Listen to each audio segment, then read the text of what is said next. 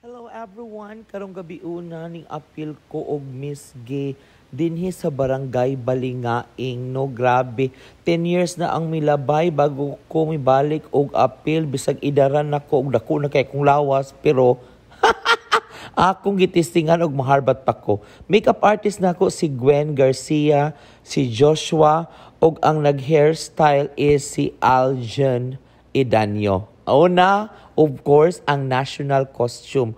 Mo ni ang akong national costume by Gwen Darbin. O, tanawag ug unsaon ako paglabok. O, hala, labuki. O, ayan. Ning sunod, ang casual attire. Mo ni si Aljon ang nag-hairstyle sa akwa. Tanawa, di gyud mahalata nga idaran ko sa akong buhok kay lami. Kay tanawa, marag yung Miss Cream Silk. And of course, dili mawala ang swimsuit. Tanawa lang. Bisag chubby pero makasukul pa. Then, gown competition dayon. Nagkabuang ko sa ako ang gown kay pretty kataas sa isili. Tanawa.